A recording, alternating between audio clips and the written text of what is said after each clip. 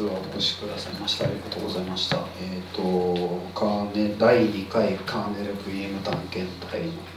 えー、開催始めさせていただきたいと思います。でえっ、ー、とまず最初の発表は僕なんですけれども、えっ、ー、と、えー、BSD NIPS の SMP 実装の話をさせていただきたいと思います。で前回もそういう話をさせていただいたんですけれど、えー、今回は、えー、TLB のコンシステンシーという話をさせていただきたいと思います、えー、正直僕自身分かってないところが かなりあるんで間違ってたら突っ込んで直してください。あ僕より多分分かってらっしゃる方が何名もいると思うので、はい、という感じです。と今までの経緯なんですけれどもざっと説明するとと SGI のオクタンっていう、えー、古い、えー、MIPS ベースのバックステーションを中古で入手しまして、えーとこの上で OpenBSD の SGI 版を動かして、えー、これの SNP 化っていうのに取り組んでみました、えー、なんで SNP 化やっていう話なんですけど、えーと、BSD 系のフリー BSD とか OpenBSD とか NetBSD とか、えー、で、えー、PS 版のカーネルで SNP サポートしてるカーネルがまだないので、えー、作ってみようという感じです。でですねえっと9月頃かなえーと、デベロッパーの方からメールいただいて OpenBSD のデベロッパーに、えー、参加させていただくことになりまして、えーと、今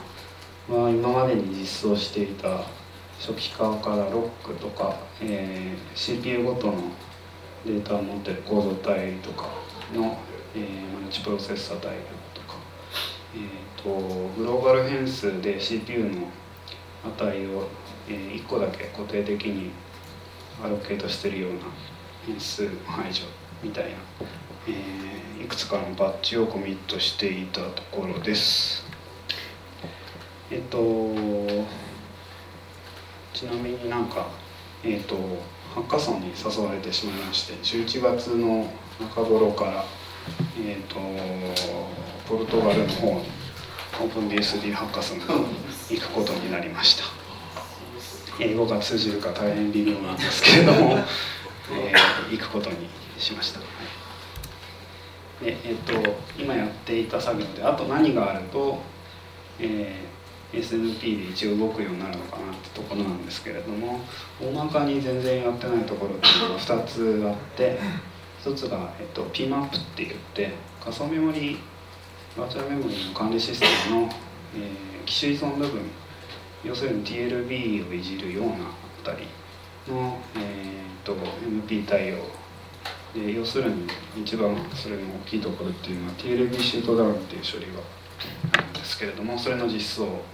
がまだ行っていないっていうのと,、えーと、IPI のドライバーの実装というのは、えー、まだ終わっていないと。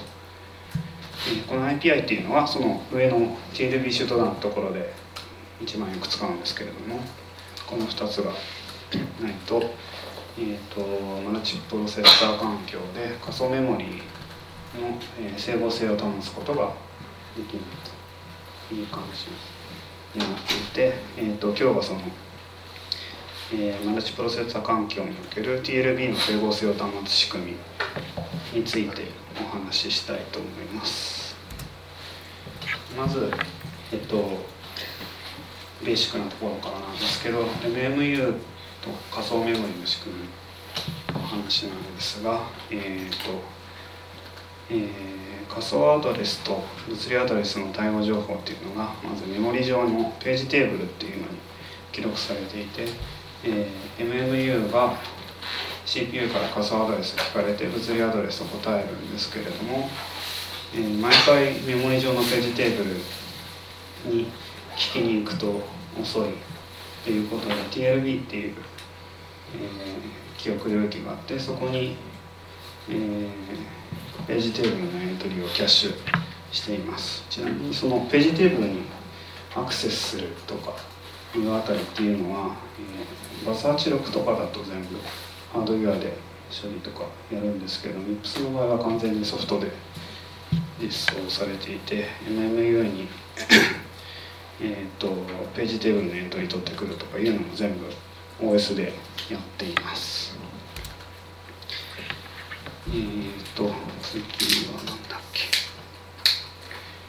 えー、さっきの話ですね。えっ、ー、と MMU は TLB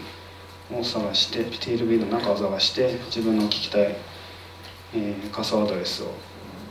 見つかったら物理アドレスを仮想アドレスを探して物理アドレスを返すんですねちょっと書き方がおかしくなってますけどと TLB にエントリーがもしなかったらページテーブルから取ってくるという仕組みになっています。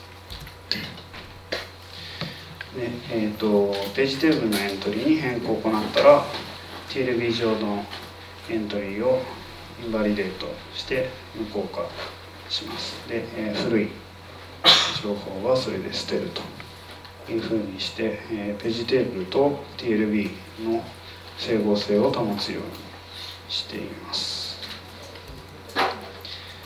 でえっ、と1つの時はそれでいいんですけれども CPU が2つ以上になるとえっ、と自分のプログラムが動いて自分の CPU、えー、とこの場合 CPU0 で、えーとページテーブル変更して TLB をインバリデートするんですけれどももし同じページテーブルのエントリーを別の CPU が TLB 上に持ってると、えー、そのカサーアドレス見に行った時に、えー、変更前のアドレスが見えてしまうっていう不整合が起きちゃいます。で、えーと、これを解決するためには同じページテーブルのエントリー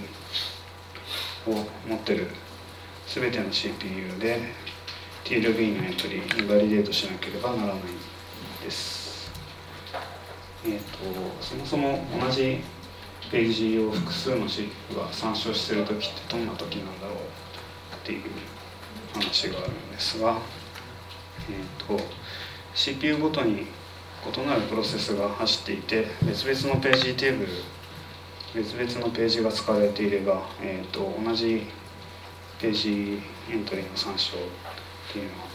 起きないんじゃないかっていうふうな気がするんですけれども、えー、いくつかそういう場合が考えられてそもそもカーネルのページテーブルカーネルのページを参照しているカーネルの場合は1つしか空間がないので、えー、それを参照している場合は別々の CPU で同じページを参照する場合があります。あとはえーと、複数のプロセスの間で共通のページが参照、えー、共有されているようなメモリーが共有されているような場合。あとは、えーと、スレッドが有効な OS で、えー、複数のスレッドが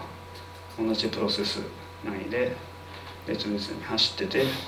えーえー、各スレッドが別々のプロセッサーで動作している場合はえページテーブル共有してるんで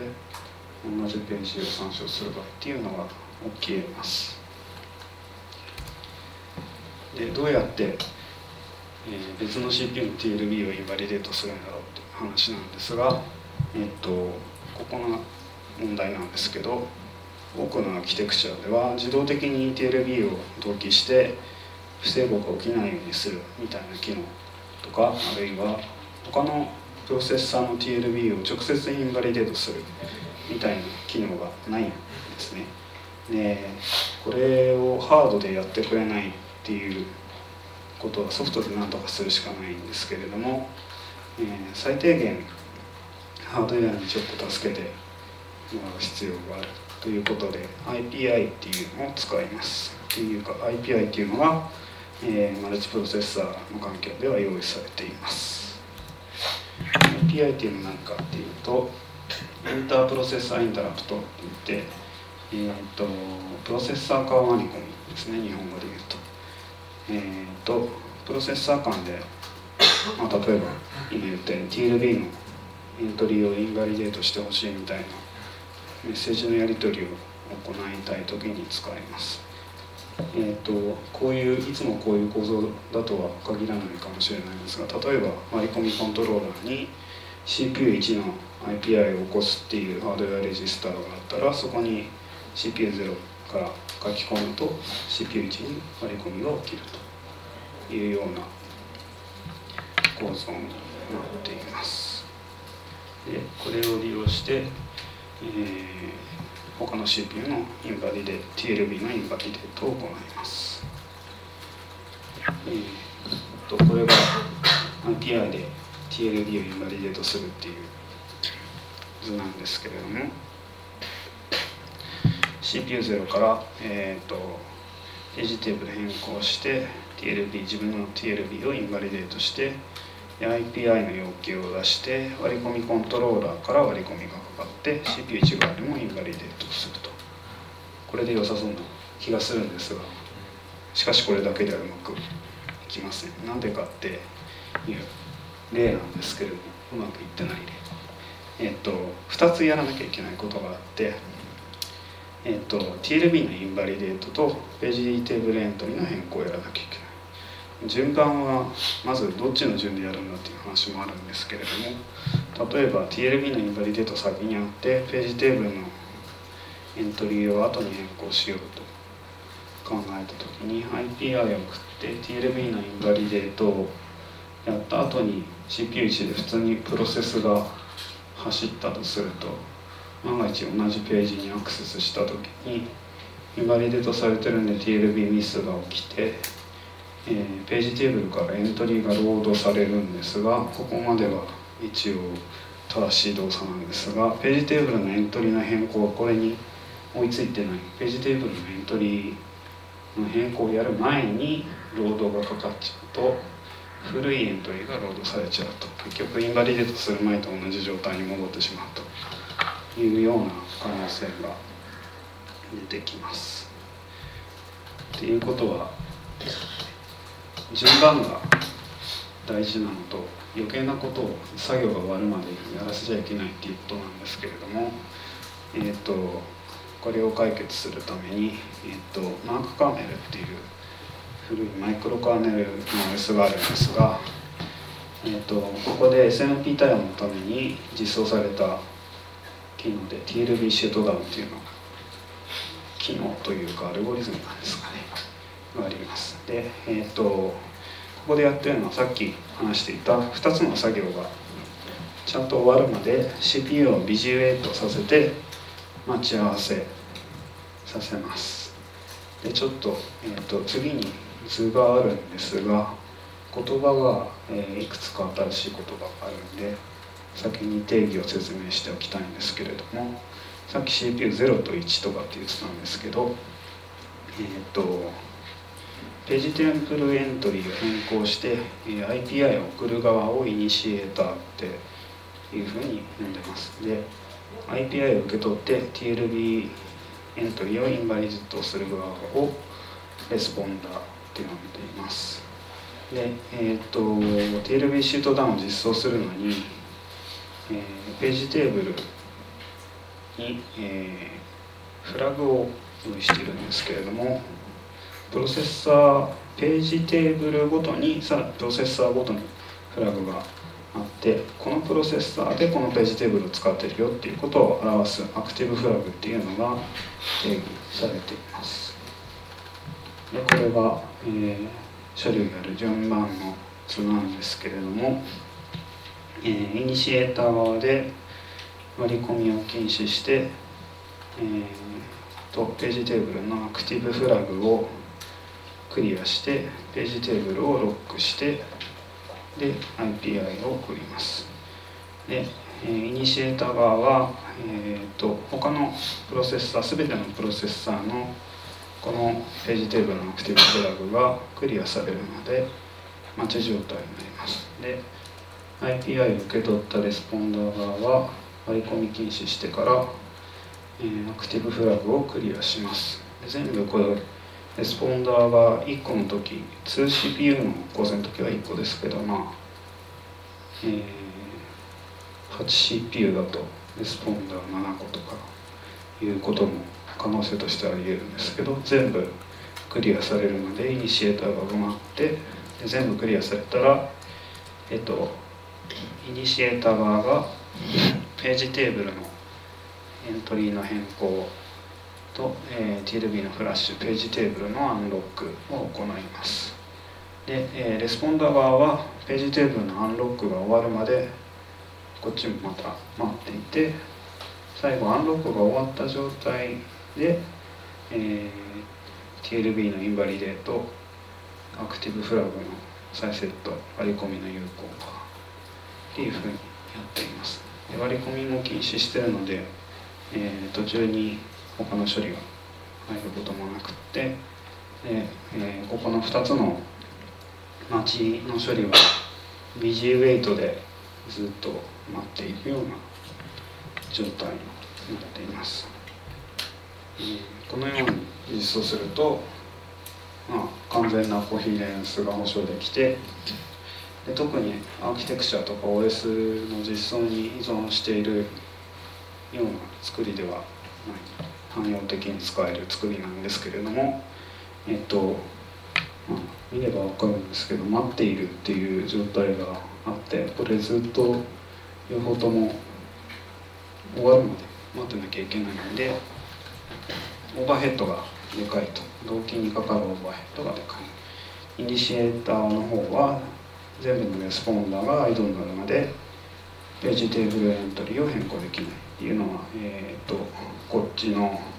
ページテーブルエントリーの変更っていうところの前のアクティブフラグがクリアされるまで待つってやつなんですがレスポンダー側が、えー、1個ならいいんですけどいっぱいいた場合全部が、えー、クリアしてくれるのを待たなきゃいけなくて割り込み禁止のビジーウェイトなのでその間何にもできないと。で、えー、同じようにレスポンダー側は、えー、イニシエーターが、えー、ページテーブルエントリーで変更するので待機してなければならない。えー、こっちも右下側のところですけれども、えー、イニシエーターがページテーブルエントリーを変更して TLB フラッシュしてページテーブルのアンロック。っていう一連の作業を終わる終えるまで待っています。これも BG ウェイト割り込み禁止なのでこの間何もできないということでこれだと CPU がいっぱいになればなるほどこういう状況が増えて CPU がやたらと止まるっていう状況が増えてしまうのでスケールしないと。いうことでえっ、ー、と完全にアーキテクチャ OS 非依存で完全なコヒーレンスを保証しようとするとこれ以外の方法というのはなかなか難しいみたいなんですが特定のアーキテクチャとか、えー、特定の OS、まあ、特定の条件が揃った時に使えるっていうもうちょっとオーバーヘッドの少ないアルゴリズムがいくつか、えー、開発されているみたいです。で全部調べてちょっとまとめてきたわけではなくて僕も全てを理解していないんですけれども、えっと、一つ調べてきたのは、えっと、モディファイド TLB シュートダンっていうやつで、えっと、これ聞いたことないんですけど RP3 っていう機械向けのまあ、カカーネルで採用されているみたいです。ちょっと知っている方がもしいたら教えてください。全然わからないんですけどこの機械は。えっとえやってることは今言ってた通り同期のオーバーヘッドを削減したいっていうことでえっ、とイニシエーターは全レスポンダから応答を待つだけでレスポンダは TLB インバリデートを終えたらすぐ作業を再開できるというような作りに変えてあってもっとずっとさっきよりも単純で最初にイニシエーター側でページテーブルをロックしてページテーブルエントリーの変更を行ってから API を送って、えー、割り込み禁止してインバリデートしてすぐ有効化すると。でこれが全部のレスポンダーで終わったらイニシエーター側はページテーブルのアンロックを行って、えー、そのまま復帰できるというような作りになっているみたいです。で、えーと、完全なコヘレンスっていうのは保証できていないみたいなんですけれどもほとんどの場合問題がないということらしいです。えっ、ー、と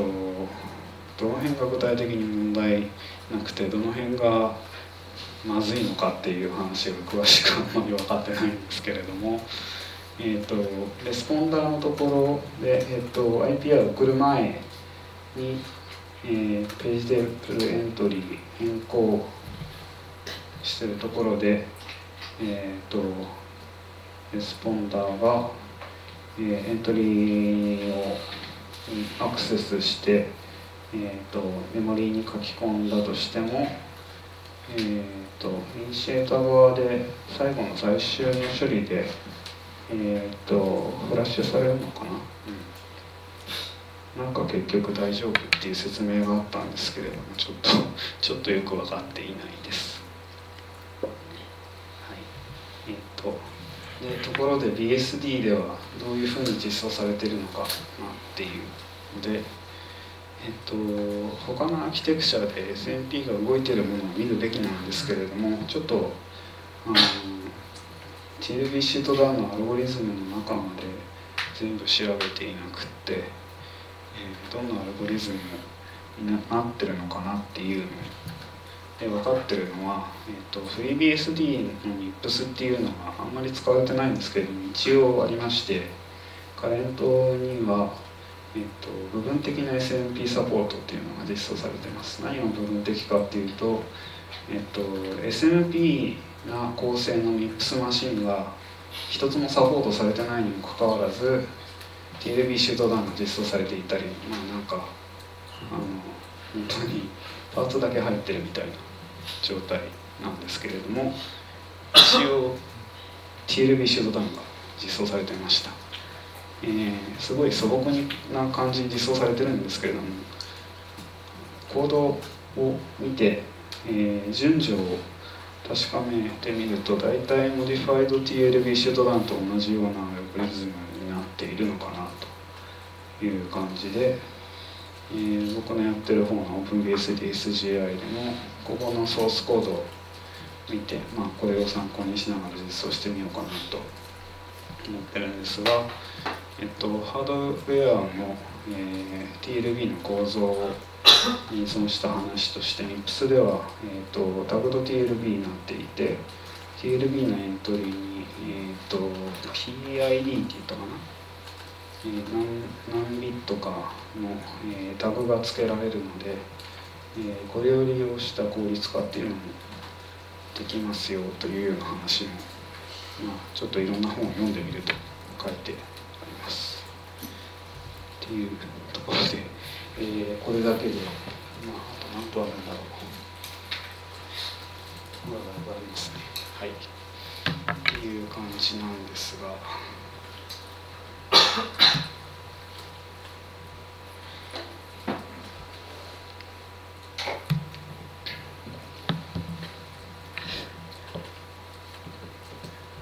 ちょっと時間が余ってるんで。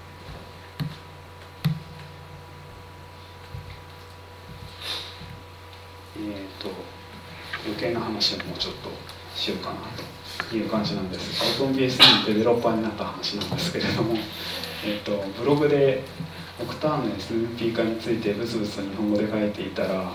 えーと、とミオットさんっていう方からあのなんかネットで見つけたんだけど日本語で書いてあってよくわからないんだけど多分オクターンの SMP 化やってるよね。機械語で翻訳あ機械翻訳してみたんだけど何書いてあるかよく分かんないけど コミットする気にないっていうお誘いがありまして、えっと、やらせていただきますっていう返事をして、えっと、デベロッパー同士のチャットに参加させていただいたんですけどなんかイニシャルが T というハンドルネームの人から「ビール飲もうぜ」っていうメッセージが来て誰だよって思ったらフェオだったっていう。なんかなぜか東京に遊びに来ていて、えーと、日本のオープン BSD デベロッパーの方たちとも一緒に、えー、なんかこんな感じでお店で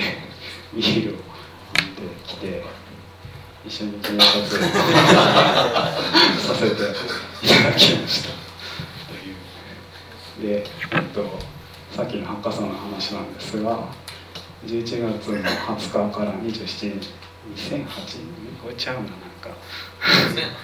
2009ですね。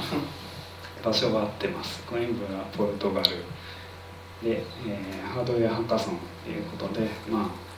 ニップスポートのハードウェアっていうくくりなので、えー、行かせていただくことにしました。という感じです。はい、はい、僕の方からは発表以上なんですけれども何か質問とかわからなかったところとかありますか？はいはい。えっ、と普通の SMP がなので、えっと、Linux のやつ、今、ソースコードちょっと言ったんですけども、Linux のやつの方で参考になるような場所はむしろないないんでしょうか、なかったんでしょうか？えーと、参考にしている場所っていうのはあのすごい必要なものが一つありましてハードウェアの仕様っていうのがきちっと全部ドキュメントの形で公開されてないんですよこの機械。あ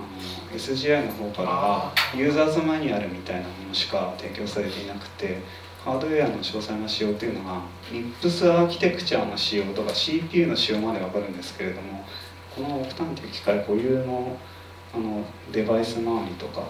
っていうところが全然公開されていなくて分かるのは Linux のソースコードにすでにオクターン置いていて一応動かした人がいて、まあ、あの全部マージされてはいなかったりしてパッチがネットに転がってたりするような状況なんですけどそれを見ないと分からない場所みたいなのが結構あって Linux のソースを眺めながら BSD のカーネルをいじくるみたいなことになっているところが一部。ありますね。で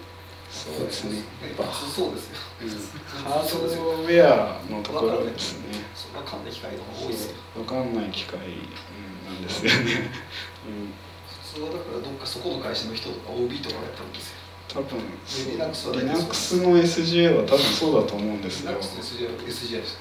うん、その会社も大体 OB とか近所にいる人ですよね。じゃないと分かりようがないっていう昔からね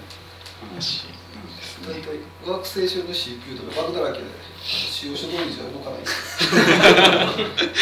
ーザーの命令はまあまあなんですけどあのシステムモードしか使わん MM ソースの命令とかほとんどそのままやったらマニュアル通りだけ見てたら分からないですよ。あるレジスタアクセスしたらしばらくして時間を置いてアクセスしないといかんとかいうのがあるんですけど実際そういうのドキュメントに書いてある。だから昔のスパート版とか見たら何でもこの子入ってんねやろとか思ったら なんか他のことやっててもっと短なりなんて思って短くしたらいきなり5回やと思って まあそんなんがそういうのが経験中なんですよ。ということだそうです。はい。じゃあ Linux のやつだとその、えーと、TLB えーと、TLB シートダウン。それではないないってことですか？えっ、と TLB シュートダウンのコードが参考になるかっていう話です。Linux のその TLB のその同期方法っていうのは、えーと、今の話に出てきたやつとは違う例えばなんかペケ86の固有の機能を使っているだとかあの全然実は関係ないペケ86の話はここにいる小沢君に聞いてほしい。わからない Linux も正直よくわからないですけど多分同じような手法で、まあ、高速化は図っているんじゃないのかなっていう気がしますけれども。バツ86だからってこれ全部自動で同期したりしないよね。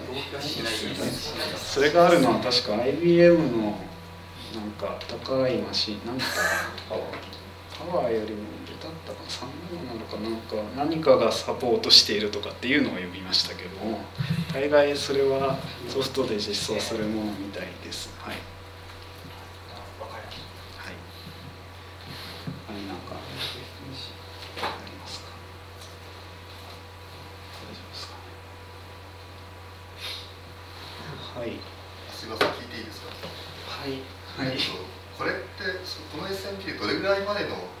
コア数がスケールすることになってるんですかえっ、とこの機械今回実装しようとしているやつタターゲットとしては2なのか8なのかマシ60ンはそもそも多分最大構成が2なんで、えまあとりあえず2ですね、うん、2でもちゃんとちゃんとスピードが出るところまでやると結構僕には辛いのかなっていう気がしてるんですけれども、うん、それ以上の機械そもそも手に入るのに何かあるのかなさあはい。サーバーの32個とか 32CPU とか。SGI で多分 SGI でもでもコア数多いのはあるにはあると思うんですけどそういう BSD でドライバー周りが全部対応されてるかどうかがちょっとわからないです。なんか同時にあのオクタン以外の機械でもやろうっていう話話ぐらいはあるみたいですけどそれが何コアなのかは多分そんなに多くはないと思います。2とか4とかそんなにありがとう。オクタン以外になんか2コアの CPU で MIPS っていうのはどういうところにあるんですかえーっと、ミップスって単に言うだけだったら結構あるにはもともとサーバーメーカーでサーバーはあるんですよ32個ぐらいか 32CPU ぐらいかえーっと SGI にももちろんいろいろあるんですけれども SGI はまあ最近あの真面目に出ているかっていうと出ているのではもないので。ないので、えっと、ここにちょっと別の資料でまとめたのがあるんですけども最近出てきているマルチコアな MIPS の CPU のリストなんですけれども、えっと、上から順にブロードコムのサイバーエットってやつはシスコのルーターに載ってます。これ買うと100万から数百万でこれ買えないなって思って。でカミウムネットワークスオクテオンっていうのはあんまり詳しく言えないけれどもなんか僕は名前聞いたことあるなっていう感じで あの1から32コアでこれもルーター用ですね。で結構もうちょっと2コアとかそれぐらいのだったらブロードバンドの安いルーターに載っていて32コア使われてるのかどうかよくわから。んであと中国で一生懸命国産 CPU って言ってやってるやつ龍神、えー中国語読みで何て言うのか忘れましたけど これ今2号ってやつが製品化されてるんですけど3号ってやつが来年出る予定になっていてこれは4コアとか結構楽しいことを言ってるんです。でこれが出るとまともになんか速くてちゃんとコア数の多いミックスが出るのかな、うん、っていう感じであとは一番下のはよく知らないんですけど RMI って会社のマルチスレッドプロセッサーみたいなこれも多分ネットワーク系だと思うんですけど AMD が一回買ってた。AMD のだったところが分離した会社ですよ。多分マルチスレッドで高性能なネットワーク用のチップでえっと粒子はどうだか知らないけど他のは全部組み込み系ですね。であの周辺チップも全部一つになっているようなソックって言われるタイプだと思います。っていうか少なくとも上の2つはそうです。カプロン AMD じゃなかったっけ？カ AMD あとキャッシュコヒレンシなしいやキャッシュコンビニアシありますよ。カビウムは大丈夫です。はい、であと番外編としてソニーの PSP に載ってるチップ PSPCPU っていうのは実は R4000 っていうミックスが2個載ってます。マルチコアです。ただしえっとバーチャルメモリーに対応してなくて MMU がないんですよ、ね、ちょっとあの SMP に使うっていう感じではなくて、まあ、片方は IO プロセッサーとかメディアプロセッサー用に使っていますというふうな説明を読んだことがあります。っていう感じです。ここまでしかわからない。あそうそう。ソニーはずっとミップスでしたよね最近までね。PS1 も2もミップスですね。で3はあれにしちゃったのでミップスじゃなくなっちゃいましたはいこんな感じです他いらっしゃいますでしょうかどうしようかはいこの発表はこんなところで終わらせていただこうかと思います。